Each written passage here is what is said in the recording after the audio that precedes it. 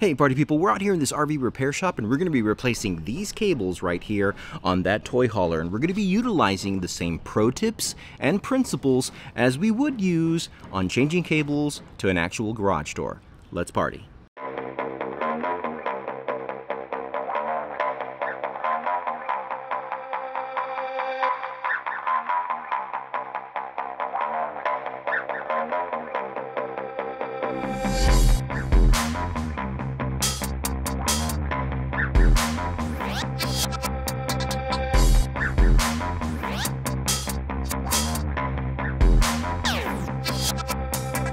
Hey, we're meeting for the first time. My name is Santiago from SOS Garage Door Service, and on this channel, we provide you pro tips and tech reviews for residential garage door needs. But from time to time, this particular RV repair shop uh, utilizes me and asks me to repair these toy haulers. And so, um, because the principles are very similar to a garage door, in fact, they have a torsion system that is utilized to open and close the ramps. Um, well, you know, I said yes, and uh, I've been doing work for them for quite some time.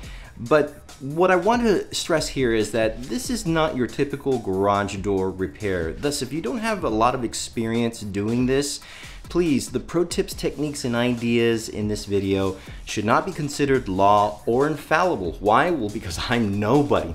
But at the same time, it's important for you to understand your toy hauler needs and your toy hauler circumstances just as you would your garage door. Because if you don't have any desire to know those things, any desire to work on your toy hauler, then reach out to a professional because that's what we're there for.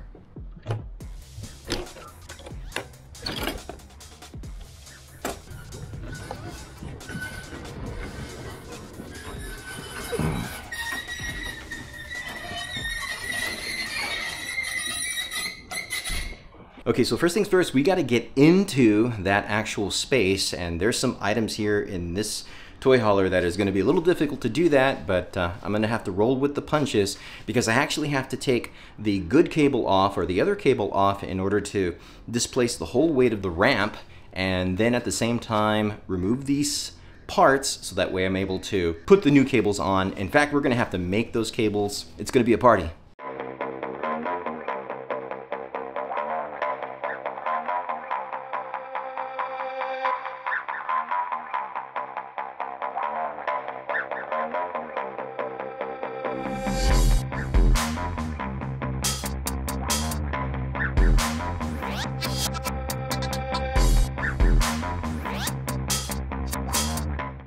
Clearly doing this is not easy.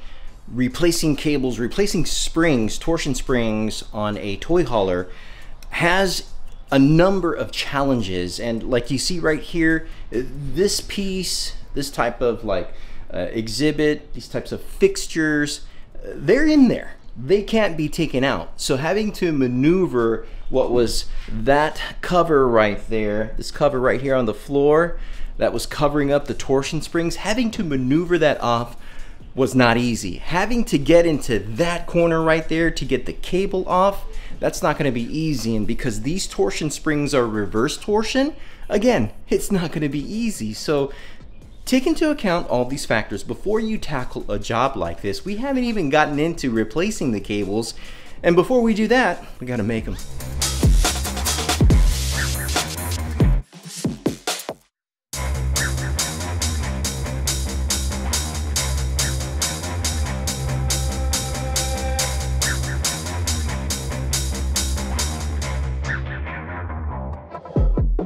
Okay, so we've taken off the tension to both torsion springs here.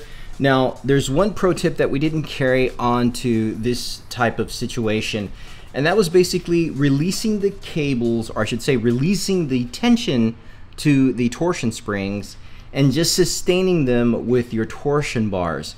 Now the reason why I didn't want to do that is because number one, we're dealing with a toy hauler. We're dealing with a very different type of configuration, different circumstances. So I almost want to start from scratch. Starting from scratch will allow me to be able to get a good lay of the land on how the tension to the springs are working with the cables. Because in essence, we don't want that ramp to be too heavy. We don't want it to be too strong. We just want it to be just right.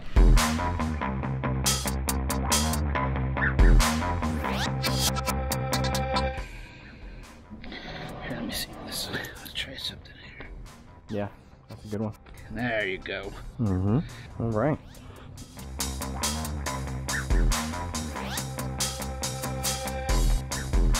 You probably have to straighten her up a little, a little tad.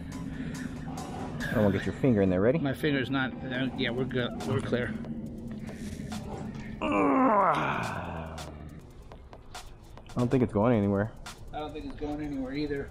Right? Yep. This is fun. By the way, party people, this is Rich. Rich, what's his last name? William. Rich Williams. He's the man.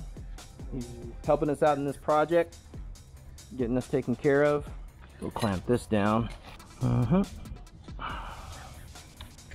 There we go. Ha ha. Let's do this real quick, Rich. Let's take that vice grip and let's let's pinch it on that one right there. Right here. Mm-hmm. There we go. Okay. I see where you're you're hitting. Mm-hmm. Maybe I can use the needles Beautiful. this way. Perfect. And then we're gonna take these. Yes, man. We can do it. We can. Here we go.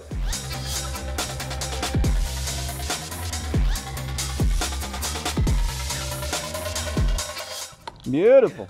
Beautiful. You're the man, bro. Thank you so much. Oh, you know what? I will need another Cotter Clevis pen. I might have one. I just don't know Cotter that. pin, right? Yeah. Yeah. Okay. Well, I got this one. Ah, no. We'll go get some new ones. Okay, great. Thank you. Okay, so we just finished making these cables. I think we're going to be okay with them. Uh, it's now just a matter of actually getting the cables tensioned onto the torsion springs. Hopefully it doesn't uh, go bad.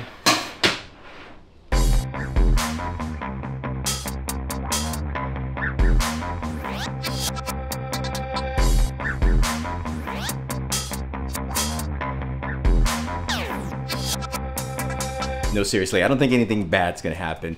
But keeping the principles again of garage door safety and being able to utilize cables in the proper way, you just wanna make sure that they're the right length. You wanna make sure that there's no fraying to them. These are obviously brand new cables. So we're gonna start working on that. I gotta get a Cotter and Clevis pen. The configuration to this toy hauler trailer with the ramp, you actually have to wind the springs while the door is down. So you've got to maintain tension to the cables while the ramp is on the ground and adding tension and because it's reverse torsion, instead of going up, you're actually going back or you're going down, I should say. So a lot of the same theory and principles, it's just a different way to do it.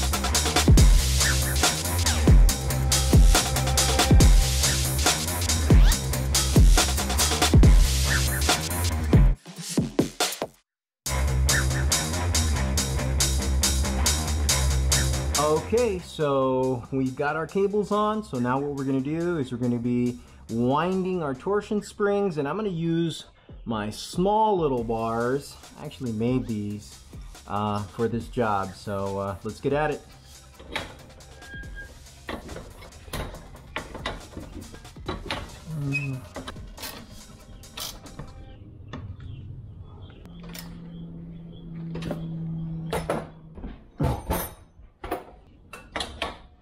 One,